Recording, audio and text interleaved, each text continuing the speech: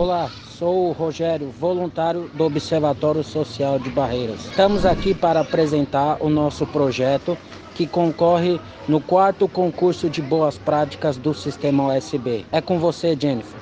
Como vocês sabem, é difícil obter informações sobre o trabalho dos nossos vereadores. Algumas informações encontram no portal da Câmara Municipal, outras requerem uma busca mais específica.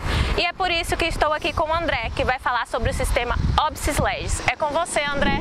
O OBSIS é uma plataforma desenvolvida por nós, aqui do Observatório de Barreiras, que tem como principal atributo reunir as principais informações do Legislativo em um só local e que o mais importante de tudo é trazer de uma forma simples e clara aos cidadãos a produção dos vereadores. O sistema permitirá que possamos acompanhar a participação individual na produção legislativa, proposições, presenças das sessões, custo por gabinete e outras informações relativas ao legislativo. De futuro, vamos valorar e pontuar o desempenho de cada vereador. Agora é com você, Jennifer.